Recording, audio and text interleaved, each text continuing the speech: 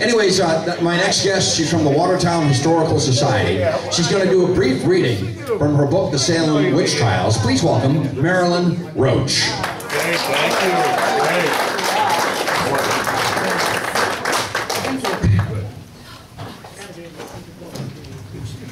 Uh, Okay. Uh, The book is extensive, but I'll give a short reading on a passage that refers to one of the more obscure characters, Anne Dolliver, who isn't mentioned too much, mainly because her paperwork got misfiled or lost and somebody else discovered it in the BPL rare manuscript section a couple of years ago, and now we know what she said. But uh, this is this happened on June 6, 1692. It was a Monday, and other people were being questioned, and somehow her ghost or specter got into the courtroom and terrorized the afflicted girls, they said. So, another specter had also targeted the afflicted. The magistrates therefore issued a warrant to arrest Anne Dolliver of Gloucester for tormenting Mary Walcott and Susanna Sheldon this day. As Dolliver was living in Salem with her father, Reverend John Higginson, Constable Peter Osgood was able to fetch her forthwith from her task of spinning. About ten years earlier, she had married the improvident mariner William Dolliver, who quickly spent most of her money. After he left for parts unknown, she and her child returned to her father's Salem household. Reverend Higginson petitioned the courts to have the remainder of her marriage portion taken from her absent husband's power, it would be in the husband's power, not hers, and put into his own hands for the maintenance of Anne and her child. He could hardly provide for himself at this point since the town owed him so much back pay. As there were evidently three Dolliver grandchildren, Anne's move did not solve the problem. Reverend Higginson, like others, would eventually refer to his daughter as ruled by overbearing melancholy, crazed in her understanding. Some of Anne Dolliver's Gloucester neighbors had thought her uncanny, knowing too much of what went on in other people's homes, but others defended her reputation.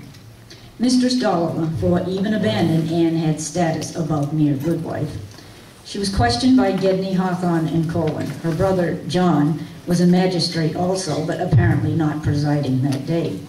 When asked if anyone had, if she had ever performed witchcraft, Anne replied, not with intent to hurt anybody.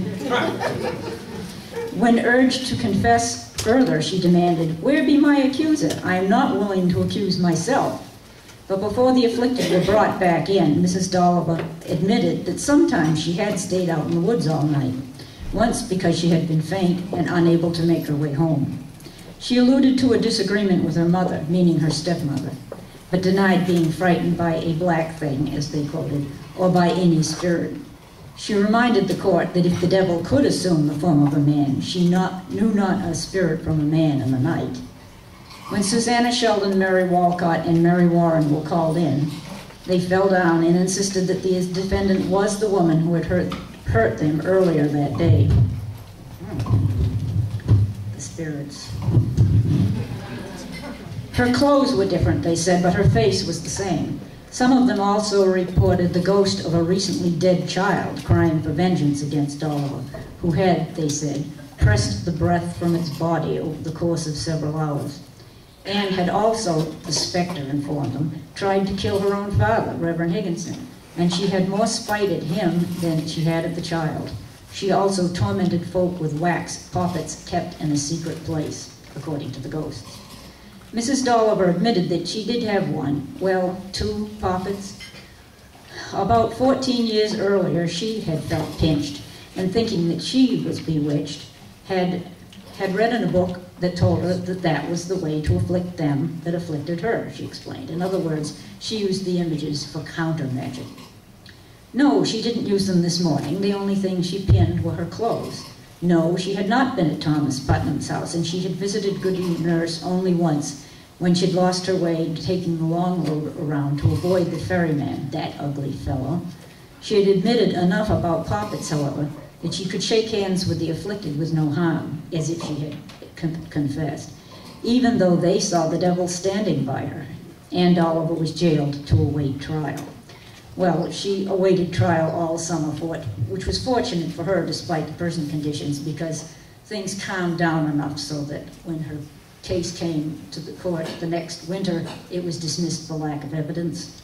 And that summer, her father, Reverend Higginson, found out that one of his sons, who had been thought lost at sea and taken by pirates in the Far East, was in fact doing quite well in India, where he was working for the East India Company.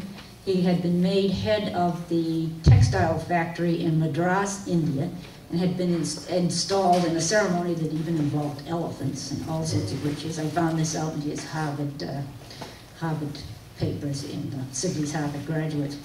And the father writes to him hoping he'll send some money back home. And he says, well, your sister's living in Salem at the moment. And he didn't say she was in jail at the time.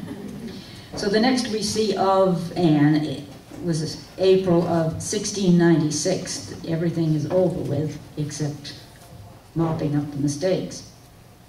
Salem town at this point was 400 pounds sterling behind in salary payments to Reverend John Higginson. The senior minister pondered Salem's war-blighted businesses as well as his duty to provide for his own family, especially his deserted, distracted daughter, Anne Dolliver, once accused of witchcraft. She was out of jail and back living with her aged father, was unlikely to recover from her oppressing melancholy. Reverend Higginson proposed to the town that instead of the lump sum that they owed him, Salem might promise to support his daughter after his death. The town readily agreed.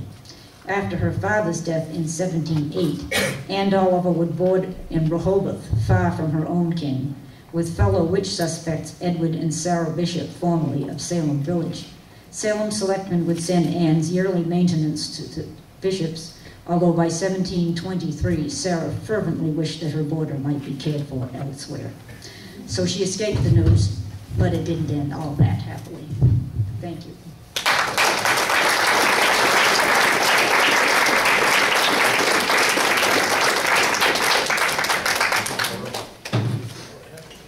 Marilynne Roach.